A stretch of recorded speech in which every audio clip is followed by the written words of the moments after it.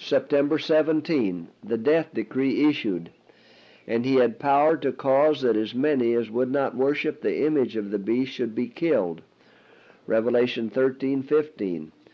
When Jesus leaves the most holy, his restraining spirit is withdrawn from rulers and people.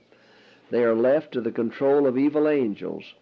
Then such laws will be made by the counsel and direction of Satan that unless time should be very short, no flesh could be saved.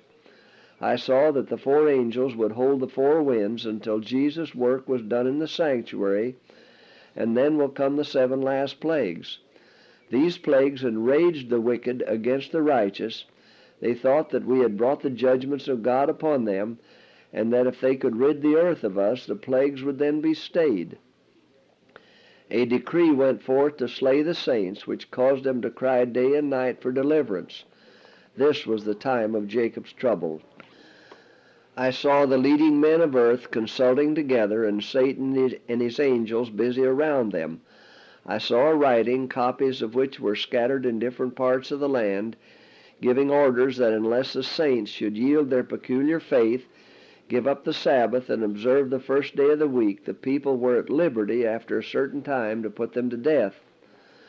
Though a general decree has fixed the time when commandment keepers may be put to death, their enemies will in some cases anticipate the decree and before the time specified will endeavor to take their lives. But none can pass the mighty guardians stationed about every faithful soul. Some are assailed in their flight from the cities and villages, but the swords raised against them break and fall powerless as a straw. Others are defended by angels in the form of men of war.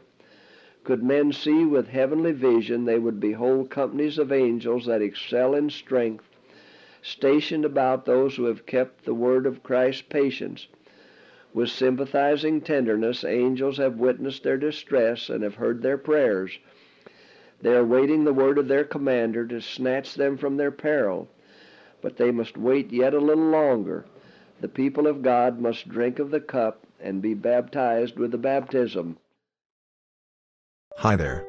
Thanks for watching this video on the Advent Band Ministries YouTube channel.